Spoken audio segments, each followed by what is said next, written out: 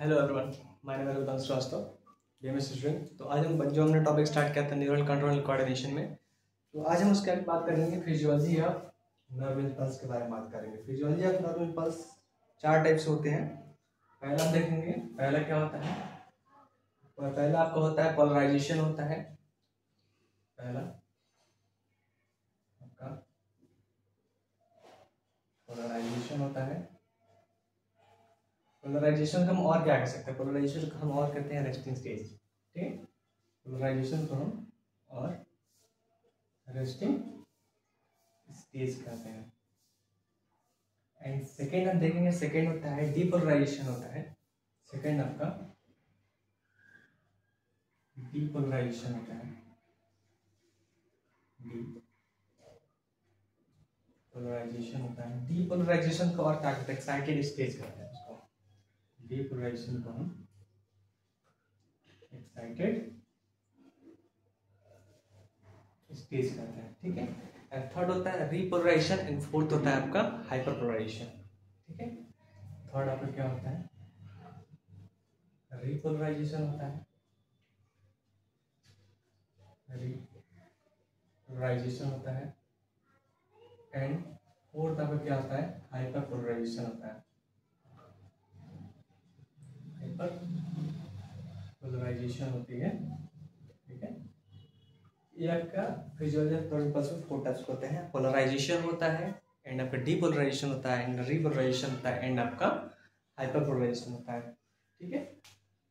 तो हम इसको एक एक करके डिफाइन करेंगे। जैसे देखें कि हम ट्रांसपोर्ट ऑफ़ आयंस आयन का ट्रांसपोर्टेशन कैसे होता है, ठीक है? Transport of ion transport of ion two types होते हैं, ठीक है? ट्रांसपोर्ट ऑफ़ आयन जो होता है आपका टू टाइप्स होता है। एक होता है एक्टिव एंड सेकेंड होता है आपका पैसिव एक्टिव पैसिव अपने ट्रांसपोर्ट इन प्लांट में पढ़ा होगा प्लांट फिजियोलॉजी में। वहाँ पे यही मान लीजिए वही प्रोसेस होता है आपका एक्टिव एंड पैसिव होता है। एक्टिव एंड पैसिव एक्टिव में क्या होता है? एक्टिव में आपका एटीपी होता है एटीपी प्रेजेंट होता है एटीपी प्रेजेंट होता है, ठीक है? एटीपी प्रेजेंट होता है, इसमें एटीपी आपका ऑब्सेंस होता है। एटीपी मतलब क्या होता है? एटीपी मतलब ये होता है कि आपका एडिनोसिन ट्राइफॉस्फेट होता है, ठीक है? एटीपी प्रेजेंट होता है, इसमें एटीपी होता है, ठीक है? एक्टिव का प्रोसेस क्या होता है? एक्टिव हमेशा जब भी आप देखोगे, चाहे आप ट्रांसपोर्ट प्लांट में देख रहे हो, चाहे इसमें नॉर्मल में देखोगे तो हमेशा क्या होता है? हमेशा वो लो टू हाई जाता है। हमेशा लो टू हाई जाती है। वही पैसिव में देखेंगे पैसिव में आपका क्या होता है? हाई टू लो डाउन होता है। हाई टू लो हो जाएगा। हाई टू लो ये प्रोसेस तो है एक्टिव एंड पैसिव का ठीक है? एक ये होता है लो टू हाई जाता है एंड आपका हाई टू लो जाता है। ठीक है? इसमें पैसिव में दो चैनल्स होते हैं। ठीक है? पैसिव में क्या होता है? पैसिव में दो चैनल होते हैं। एक आयन चैनल होता है, एक वोल्टेज गेट चैनल होता है, ठीक है? एक आता है? आयन आयन चैनल होता है एक वोल्टेज गेट चैनल होता है। वोल्टेज गेट चैनल इसको हम बीजेसी भी कर सकते हैं शॉर्ट फॉर्म में, ठीक है? एक आयन चैनल होता है, ठीक है? इसमें क्या होता है? आयन चैनल में सोडियम पोटेशियम होता है। Sodium potassium, sodium and sodium होता है, सोडियम एंड पोटेशियम होता है। ठीक है? Sodium and potassium sodium H अब होता है is less than sodium is the less than less than less than potassium होता है। ठीक है? अब इसमें देखेंगे, इसमें जो होता है आपका सोडियम पोटेशियम होता है। ठीक है? सोडियम जो पोटेशियम होता है टू टाइप्स होते हैं, sodium and potassium sodium potassium का सोडियम से greater than greater than greater than आपका पोटेशियम होता है, ठीक है? ये आपका ट्रांसपोर्ट ऑफ़ आयन इससे पोलराइजेशन के बारे में बात हो रही है। पोलराइजेशन के बारे में बात हो रही है। पोलराइजेशन को और हम क्या करते हैं? पोलराइजेशन को हम रेस्टिंग स्टेज भी करते हैं, ठीक है? पोलराइजेशन को हम क्या करते हैं? पोलराइजेशन जो प्रोसेस होता है, उसको हम रेस्टिंग स्टेज में करते हैं। ठीक है?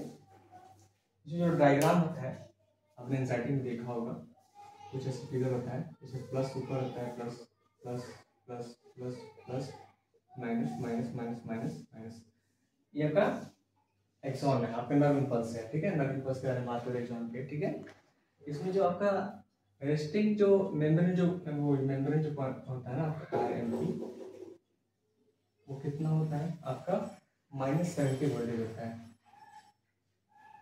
ठीक है? माइनस सेवेंटी मिली वोल्ट होता है? ठीक है रेस्टिंग रेस्टिंग मेम्ब्रेन पॉइंट होता है जो पोटेंशियल रेस्ट इसका होता है? रेस्टिंग कंफ्यूजन हो जाएगी आप लोग को। रेस्टिंग मेम्ब्रेनस पोटेंशियल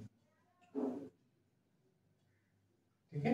इसकी जो वैल्यू होती है माइनस सेवेंटी मिली वोल्ट होती है। इसमें क्या होता है? फ़र्स्ट ऑफ़ ऑल देखेंगे इसमें सोडियम जो आयन चैनल होता है, सोडियम आयन चैनल, जब सोडियम आयन चैनल की बात करें उसमें क्या होगा? सोडियम आयन चैनल में क्या सोडियम आयन चैनल में सोडियम किन साइड सोडियम अंदर की तरफ़ आती है, ठीक है? सोडियम आयन आयन चैनल में तय होता है आपका चैनल के अंदर, मान हुआ, इसके यहाँ पे सोडियम अंदर की तरफ़ आती है, ठीक है? पोलराइजेशन में। वही आपका सो पोटेशियम आयन चैनल देखें पोटेशियम आयन चैनल में पोटेशियम आयन चैनल में जो पोटेशियम होता है, वो बाहर की तरफ़ निकलता है। जो पोटेशियम आयन यहाँ पे सोडियम अंदर आएगी तो पोटेशियम बाहर जाएगा। यहाँ पे इस फिगर के थ्रू बता रहे हैं आपको, जो नर्व इम्पल्सिस में क्या होता है, सोडियम आयन चैनल में, सोडियम अंदर की तरफ़ आती है, और ये पोटेशियम आयन चैनल में आपका पोटेशियम बाहर जाता है, ठीक है? और इसमें थोड़ा होता है, सोडियम पोटेशियम पंप होता है, ठीक है? सोडियम सोडियम पोटेशियम पंप होता है sodium potassium pump sodium potassium pump में क्या होता है? सोडियम पोटेशियम पंप में आपका three sodium and two potassium इसमें क्या होता है? ये पोटेशियम बाहर तरफ़ जा रहा है एंड सोडियम बाहर तरफ़ जा रहा है एंड पोटेशियम अंदर की तरफ़ आ रही है, ठीक है? इसमें आपका सोडियम वोल्ट वीजीसी बताया था ना वोल्टेज गेट चैनल होता है। And potassium voltage gate channel इनमें नहीं होता है, ठीक है? इसमें सोडियम आयन चैनल होती है, सिर्फ़ इसमें आयन चैनल की बात हो रही पोलराइजेशन में वोल्टेज गेट चैनल नहीं होती है, ठीक है?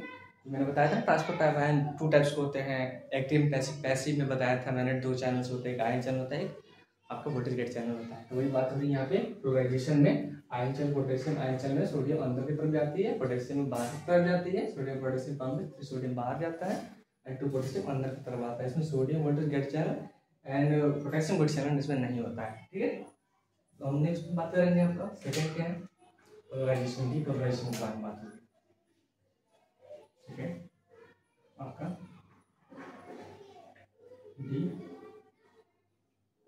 पोलराइजेशन के बारे में बात होगी, ठीक है? हमने रिपोलराइजेशन देख लिया डीपोलराइजेशन के बारे में बात होगी ठीक है? मैंने देखा इसमें सोडियम पोटेशियम पंप के बारे में बात होगी, ठीक है? जितना सोडियम पोटेशियम पंप है तो एक डायग्राम है, इसको थोड़ा समझेंगे न्यूरॉन्स जो डायग्राम देखा था ना बस वही डायग्राम यहाँ होगा ठीक है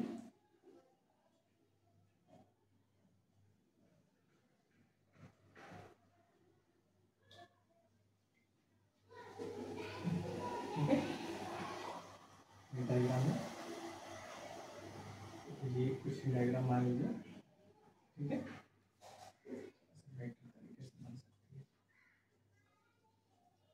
ठीक है? डायग्राम इसमें क्या होता है? इसमें आपका इसमें आपका जो होता है फोर्टी एम जो मिली वोल्ट है, इन इनसाइड अपने अंदर के तरफ़ जाता है हमें यहाँ वोल्टेज जो होता है प्लस वन मिली वोल्ट होता है, जो अंदर की तरफ़ आता है, यहाँ पे प्लस फोर मिली वोल्ट होता है। ठीक है? ऐसे अंदर जाता है, ठीक है? तो आज हम देखेंगे इसका जो प्रोसीजर है, कैसे इसमें जो चैनल ओपन होती है, ठीक है? तो यहाँ देखेंगे हम।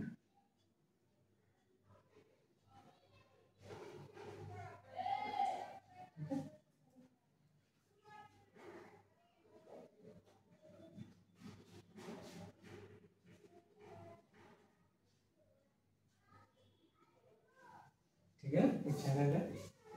आपका ठीक है इसमें जो चैनल होता है, इसमें सोडियम पोटेशियम पंप का दोनों तरफ़ होता है, यहाँ पे सोडियम पोटेशियम सोडियम पोटेशियम दोनों प्रेजेंट होता है। यहाँ पे भी सोडियम पोटेशियम प्रेजेंट होता है। यहाँ पे भी सोडियम पोटेशियम प्रेजेंट होता है। ठीक है? इन दोनों पे क्या होता है? सोडियम पोटेशियम प्रेजेंट होता है। यहाँ पे आता है, ये तो पैड यहाँ पे क्लोज होता है। चैनल सारे खुल गया, ठीक है? इतने चैनल सब सब चैनल बन गए ठीक है? यहाँ कैल्शियम आता है। कैल्शियम है कैल्शियम में दो प्लस होता है ये कैल्शियम आयन यहाँ पे आया, ठीक है? यहाँ पे थ्रेशोल्ड जो स्टोनेस की वजह से।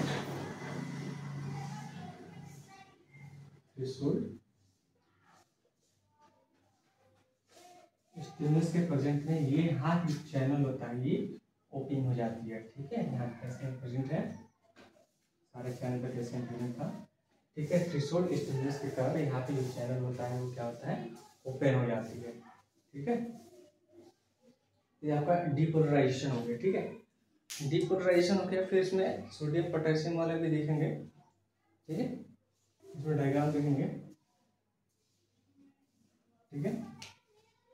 यहाँ पे इस चैनल है, ठीक है? यहाँ पे भी कैल्शियम प्रेजेंट है। ये क्या होता है कैल्शियम प्रेजेंट होता है, ठीक है? यहाँ पे कैल्शियम प्रेजेंट होता है, यहाँ पे। इनसाइड यहाँ पे प्लस टेन मिली वोल्ट होता है जो आर एम पी मैंने बताया था ना रेस्टिंग मेम्ब्रेन्स पोटेंशियल उसकी वैल्यू होती है प्लस टेन मिली वोल्ट यहाँ पे आता है। उसके बाद यहाँ पे जो सोडियम पोटेंस सोडियम वोल्टेज गेट चैनल के प्रेजेंस में, ठीक है, यहाँ चाहेंगे तो यहाँ पे सोडियम पे जो चैनल होता है ओपन हो जाती है। ठीक है, जो चैनल है, यहाँ पे ओपन हो जाता है तो सोडियम जो होता है इनसाइड है। तो सोडियम चैनल ओपन होते ही सोडियम जाकर है अंदर के इनसाइड का अंदर चला जाता है। इसको हम क्या करते हैं? इसको रैपिड इन्फ्लक्स करते हैं। इसको हम रैपिड इन्फ्लक्स करते हैं। ये आपका हो गया डीपर